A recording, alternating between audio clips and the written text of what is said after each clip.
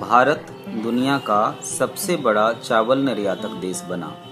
वर्ष 2015 के आंकड़ों के आधार पर भारत कुल 1.02 करोड़ टन चावल निर्यात के साथ दुनिया का सबसे बड़ा चावल निर्यातक देश बन गया।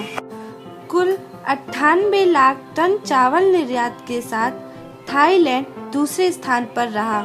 इसके पहले थाईलैंड 2014 में एक दशमलव ज़ीरो नौ करोड़ टन चावल निर्यात करके पहले स्थान पर था।